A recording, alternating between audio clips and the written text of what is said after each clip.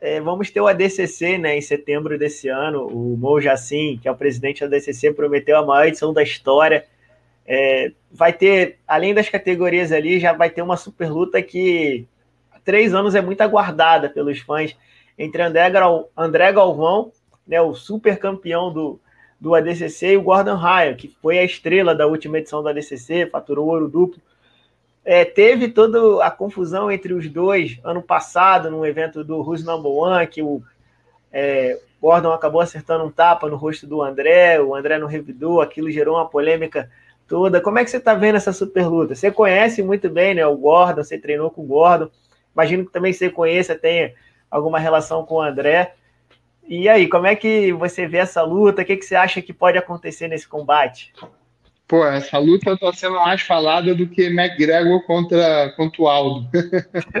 tá, o pessoal tá falando mais dessa luta do que, do que da outra. Cara, é um lutão, né? Uma luta aí um pouco imprevisível aí, a gente não sabe o que, que vai acontecer pelo, pelo grande atleta que o André Galvão é. é. Você vê que na última luta que ele lutou contra o Preguiça, ele veio igual um monstro, né? Ele estava muito forte, muito bem. Então, uma luta imprevisível aí, mas uma luta que ninguém vai querer perder. O Gordon é um cara que eu conheço muito bem, eu treino com o Gordon desde que ele é garoto, desde que ele era faixa azul, e eu vi toda essa ascensão dele aí.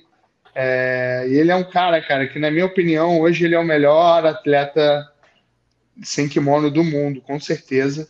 Ele é um cara muito bom, ele é muito técnico, o pessoal falava muito de chave de pé, e pode ver que nas últimas lutas dele ele tem ganhado todas as lutas por finalização das costas, normalmente.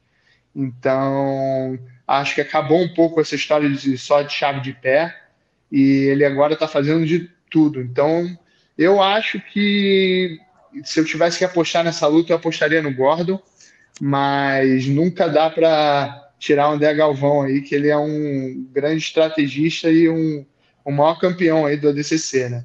Vai ser um lutão.